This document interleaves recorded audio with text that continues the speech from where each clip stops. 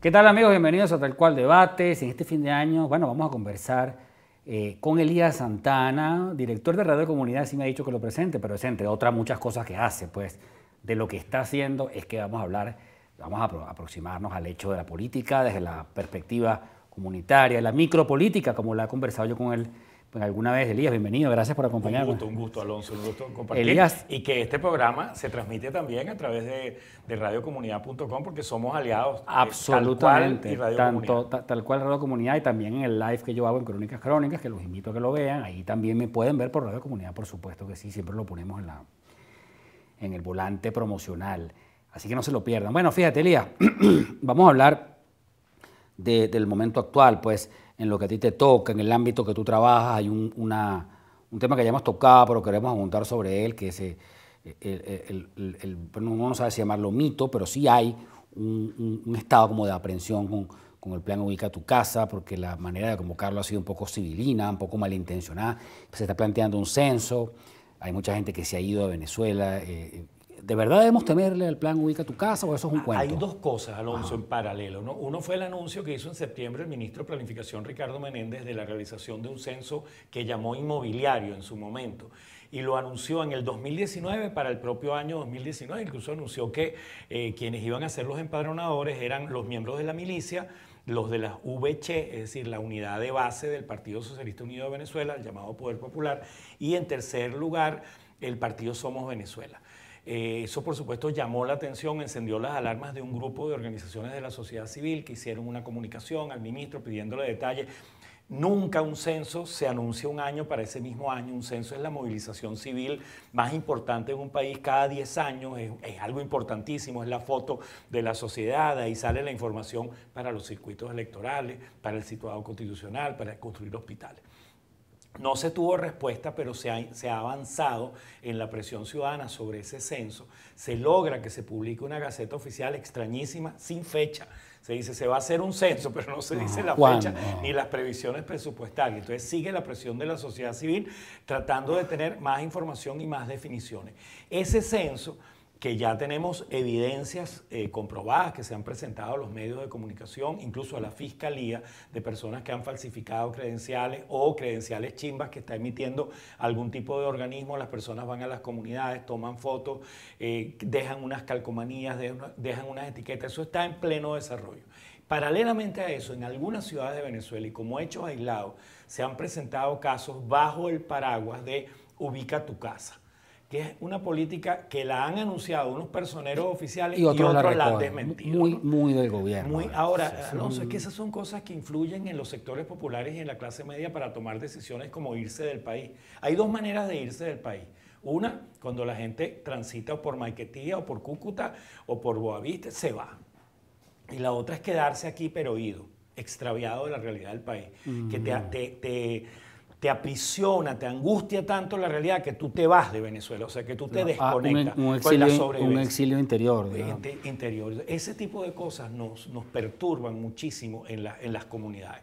Ahora, son dos cosas diferentes, le estamos dando dos tratamientos diferentes y la sociedad civil ha reaccionado, afortunadamente, y, y está presionando en esos dos Bueno, pero eso es un punto. Ha reaccionado, porque en realidad la pregunta que uno se hace acá es eso, ¿dónde está la gente en esta tragedia? Eh, pasa mucho eso que tú estás diciendo, la gente se, un poco, bueno, uno mismo a veces lo hace, se enconcha en su cotidianidad procurando protegerse, aunque sea dos días del asunto, sin embargo, bueno, el, asunto está frente a nosotros, eh, eh, las encuestas están hablando de que hay mucha gente dispuesta a manifestarse, pero ¿cómo ves tú eso? Fíjate, yo, yo veo que hay una distancia preocupante entre la percepción que tiene de la realidad la dirigencia política, especialmente la, alta dirigencia política opositora de cualquiera de los sectores, que tienden a decir, bueno, hay, que superar la normalidad, eh, hay que ya va, espérate, nosotros estamos viviendo y recibiendo información en radiocomunidad.com de decenas de protestas, de manifestaciones eh, desde la avenida Baral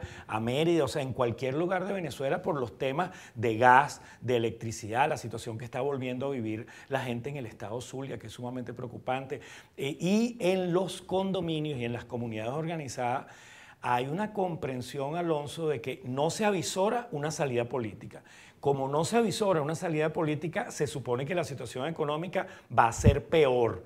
Entonces hay un entender, entenderlo, internalizarlo, y, se ha dinamizado la, organización comunitaria. O sea, la gente está más organizada hoy, más comprometida, comprometida al punto de pagar, pagar en divisa, pagar desde el exterior, hacer aportes del exterior para arreglar el ascensor. Yo te puedo dar montones de testimonios y eso tiene eh, una conexión con el primer tema que planteaste. Ubica tu casa, ha sensibilizado a esos casi 6 millones de venezolanos. Este es un dato que dio Tomás Páez esta semana en radiocomunidad.com, el experto en este tema, en que quienes tienen propiedades aquí, sean de los sectores populares o de la clase media, tienen temor ante el censo inmobiliario o ante ubica tu casa. ¿Quién es su garante? Su consejo comunal, su asociación de vecinos, su junta de condominio. Entonces se ha dado un vuelco y son mucho más participativos. Yo recibo más mensajes para saber eh, temas de, los asuntos estos del censo inmobiliario del exterior, de las asociaciones de venezolanos en el exterior, que de aquí mismo, porque aquí mismo como la gente está en cinco o seis planos, allá preocupa es, me invadirán mi casa, me invadirán, eh, coparán una de mis habitaciones. Yo creo que lo del censo, Alonso, tiene que ver, y también me extraña que la dirigencia opositora no haya puesto más el ojo en esto, en que el sector oficial está convencido de que va a haber, bueno, obviamente constitucionalmente están previstas unas elecciones legislativas, por lo menos. Y ellos eh, probablemente tengan la intención de tener una data hecha eh, a su a sus necesidades, una camisa a la medida, para modificar los circuitos electorales. Porque modificando circuitos electorales se influye determinantemente en los resultados de una elección, tú lo sabes muy bien. Ciertamente, muy interesante la reflexión. Elías, te pregunto, y en este, en este marco, en las comunidades, eh, antes se hablaba tanto del pueblo chavista, parece no haber un pueblo chavista al cual oponer, es decir, el chavismo está organizado en estas zonas, tú lo sientes, ves, eh, ves movimiento sí está presente. Está presente, hay diferentes vertientes, hay vertientes de, gente que es líder vecinal, que son promotoras de, sus organizaciones comunitarias de toda la vida en muchos casos. Algunos de ellos vienen de ser líderes de Acción Democrática, que fue el partido de, en las comunidades durante mucho tiempo. Hay esa vertiente de gente que está realmente comprometida con su comunidad y abraza esa causa política, lo cual es totalmente respetable. Yo con ellos, Alonso, tengo que reconstruir el país. ¿Entiendes? Con, yo totalmente, tengo más cercanía con muchos dirigentes chavistas en las localidades, en un Ahora, lo que uno se pregunta es si no hay en esas personas... No, ya va, esa es una vertiente, porque hay otra vertiente de los tipos enloquecidos, ideologizados, que la coyuntura internacional y un lineamiento de, de venidos de La Habana es más importante que el nivel de calidad de vida o que se estén muriendo niños en el JM de los Ríos y tal. Y luego están, obviamente, los eh, enchufados de a pie que bueno, que están sobreviviendo gracias a que están allí cerca. Y la gente común y corriente, oye, que necesita la bolsa CLAP, que necesita el bono del carnet de la patria, entonces que está allí, que responde a un cierto ¿En qué proporción? Pero tú dirías que son mayoritarios, son números 8 a 2 a favor de quién? 8 a, ah, no, a favor de... Hay la gente que no quiere nada con el gobierno, que quiere un cambio, 8. Claramente. No, eso lo veo en las comunidades, pero se lo oigo a Luis Vicente León. Yo también lo sé. Pero claro, pero, siempre hay que palpar. sí, pero, yo, por ejemplo, estuve pero ese hace un año con Roberto Patiño en Elemento de la Solidaridad en Carapita y una de las grandes cosas que tenía tiempo que no iba a un barrio así, vamos a decir, un, un año que no iba a una zona popular y es la ausencia del chavismo en la zona. O sea, eh, había, lo que había era necesidad sin programas sociales y el chavismo eh, enanizado por completo. No, pero hay un chavismo organizado, hay un gobierno eh, bueno, claro, organizado, político, con funcionarios, eh, con un norte claro de una gran preocupación por el tema del territorio, del conocimiento, eso es una cosa heredada pues, del mundo militar, el territorio, de tener la data, de saber quién es Alonso Moleiro, dónde vive, quién es su señora esposa, si hay un familiar que tenga una condición especial, de, tener información sobre la población y de tener el control de los espacios, por supuesto. Muy cubano, muy, CDR. Estamos en un modelo que tiene esa inspiración. bueno, hay 70 mil eh, eh, personas de Cuba, o sea, nacidos en Cuba, que están aquí en Venezuela en posiciones muy claves en el mundo militar, en el mundo de los registros, de las notarías, de la inteligencia política especialmente. Sí, yo sobre esa, esa mm, digamos, esa presión... Eh, esa burocracia que es militante, que toda dictadura tiene siempre causa viente, eso no es ningún misterio, siempre ha sido así. Eh, si no está parada sobre un país harto, un país que está respirando pues, necesidad, inconformidad y que se fastidió de, esta, de este disparate de 20 años de polarización política alimentada desde el gobierno. Es una cosa que no se puede olvidar tampoco, no es que la inventamos acá. Pero, o sea, es, por eso te lo preguntaba, pues, o sea, es un 8 a 2, quiere decir que, bueno, hay, hay, claramente un país que está anhelando que esto cambie. Y que quiere que haya unas elecciones simplemente para poderse expresar y demostrar que es 8 a 2. Y ojalá, bueno, se modifique un poco el tema del, de la representación proporcional para que el chavismo tenga, el neochavismo, tenga el peso que deba tener y las diferentes oposiciones que existen tengan el peso que deban tener, pero que vayamos, Alonso, por favor, a una cierta normalidad institucional y a cambios eh, determinantes en temas de programas sociales y de política económica, que es la cotidianidad terrible. Demasiado, es una tragedia. el asunto es que yo creo que ellos no, quieren asumir las consecuencias. No la veo en la praxis cotidiana de quienes eh, estimulan el proceso de cambio político, no la veo, no la siento. No se han hecho el reflejo de verdad, de verdad. ¿No será que es que hay mucha censura? Pregunta uno. No, no, porque fíjate que hay otros mensajes que si son más políticos que, eh, o bien estas tres oposiciones, o sea, todo el mundo que gravita alrededor de, no sé, Eduardo Fernández, en este momento, Fermín, eh, eh, la noticia sobre la oposición son las tensiones entre ellos. Sí, es que llama muchísimo la atención, Alonso, que todos estos tres sectores tienen diálogos y conversaciones frecuentes con eso que llamamos el gobierno de Maduro. Pero entre ellos no hay una instancia de coordinación semanal, por ejemplo. O sea, estás dispuesto a hablar con Jorge Rodríguez estás dispuesto a hablar con Diosdado Cabello, pero eh, Henry Falcón no está dispuesto a hablar con Juan Guaidó, Juan Guaidó con María Corina. O sea, pero no es hablar. Yo creo que Juan Guaidó y María Corina sí hablan. Sí, pero yo quiero. Y Guaidó y Soy Venezuela conversan. Por lo menos intercambian. Una instancia de dirección política, Alonso, que diga cuál es el mínimo. no, es mi aspiración como elector. Yo tengo derecho. Lo que pasa es que ya yo no sé. Pero yo, lo que te lo digo acá, pues, ¿qué quiere la mesita? ¿Quiere ¿Quiere que esto trascienda o quiere que esto se quede? O sea, yo empiezo a tener dudas sobre esa gente, te digo sinceramente. Pero que se, abra, que se abra un espacio. O sea, ¿qué, qué sería, qué necesita el país? Una dirección política de quienes deseamos un cambio.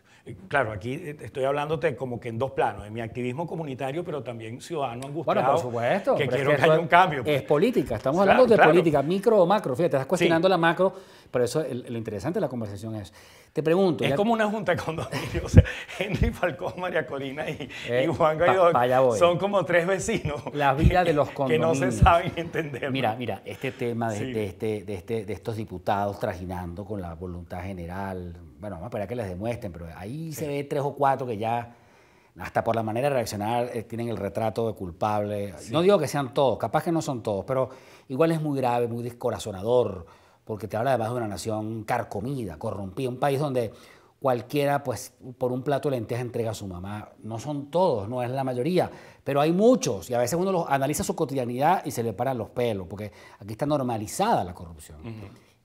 ¿Cómo, ¿Cómo se vive eso cotidianamente? O sea, yo me pregunto si las juntas de condominio no son unos infiernitos, así donde está Venezuela en chiquito, con un Nicolás Maduro pirateando. Un condominio. Un Diosdado Cabello. No es otra cosa que el país en pequeño. Y así, así tiene que ser, porque es como, el, es la célula más pequeña de un organismo que es mucho más grande que es el país.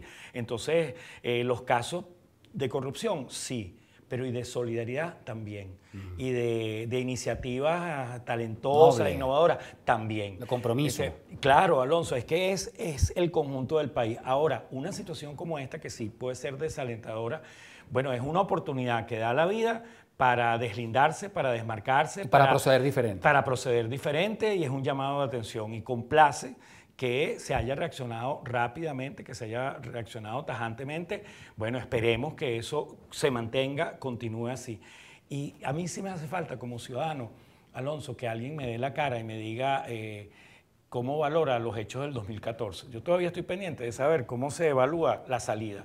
O el 2017, el 16 de julio del 2017, qué significó los cuatro meses de protesta. ¿Por qué sí elecciones de gobernadores, ¿por qué no de alcaldes? ¿Por qué sí de gobernadores y no las presidenciales?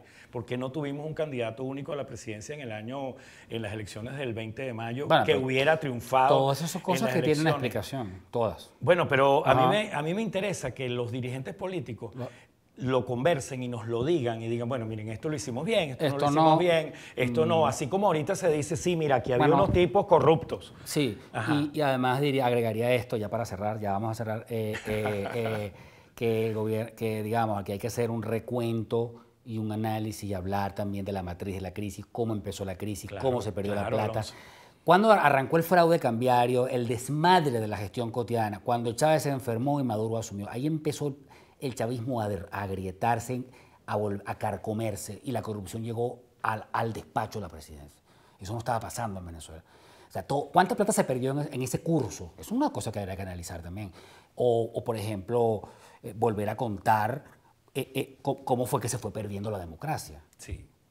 Es que desde allí hay que empezar. Pero tenemos una dirigencia opositora que tiene un rango etario alentador, que es gente muy joven, que está dirigiendo un proceso muy complejo. En el caso de figuras como Juan Guaidó, percibo que él tiene cerca a personas de otros eh, niveles etarios, o sea, personas mucho mayores que las escuche, las escucha con atención. Y eso es muy bueno cuando se habla de un joven político. Pero dennos una explicación. Para, para, para, que yo sentirme convocado, Alonso, por ti a una nueva etapa de lucha política, cierre del 2019, el año 2020, yo quiero que hablemos del, del, pasado. ¿Cuál es tu interpretación? ¿Cuál es la lectura que tú haces de eso? No es un mea culpa, pero ajá, espérate, ¿en qué fallamos? ¿Qué aprendimos? ¿Y qué de lo que viene lo podemos eh, nosotros influir? Sería muy triste que vayamos a unas elecciones parlamentarias y haya un desastre electoral en la Asamblea Nacional. Alonso, sería muy triste. Y deberíamos presionar, lo digo como ciudadano en tono crítico, ¿cómo presiono más para que todo el que se oponga a esta administración haga un frente común, un mínimo común denominador que permita ir unidos a ese proceso electoral, unidos, pero como hacía Teodoro en el movimiento del socialismo, que podía estar unido, pero reconocía que había vida interna, que había disensos, que había diferentes corrientes. Pero solo unido todo ese bloque opositor se le puede dar una derrota y empezar un camino de reinstitucionalización desde esa Asamblea Nacional. Ha sido Elías Santana, eh, bueno, promotor comunitario, activista, ciudadano, el pionero de las ONG en Venezuela. Eso ya algún día también habrá que echar ese cuento al detalle. Pues con él fue que comenzó toda la historia de las ONG, buen amigo personal además, de muchísimos años. Este, los espero en una próxima oportunidad.